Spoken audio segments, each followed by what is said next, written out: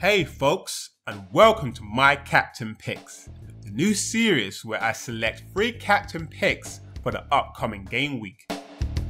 For each captain pick, the player must fall under the following headings. Pick 1. Captain Sensible.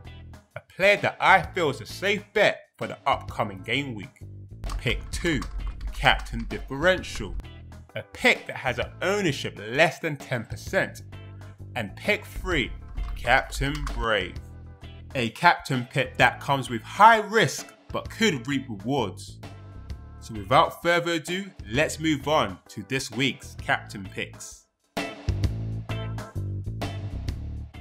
For this week's captain sensible, this player is the Premier League joint top scorer, scoring 8 goals so far this season. Up against a team with a terrible away form conceding 11 goals in 4 away matches. With more than 40% ownership and a tasty home match against Newcastle, Tammy Abraham gets my pick for this week's Captain Sensible. For Captain Differential, after a slow start to the season, Wolves are starting to show signs of being able to balance their Europa League commitments with the Premier League undefeated in their last five games in all competitions, and beating Man City 2 0.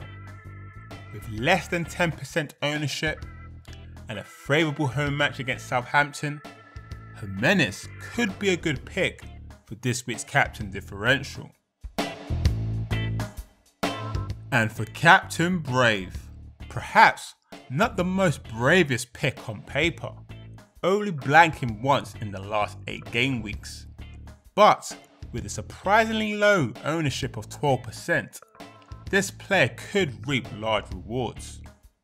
With a desirable home fixture against Norwich, Callum Wilson gets my pick for this week's Captain Brave.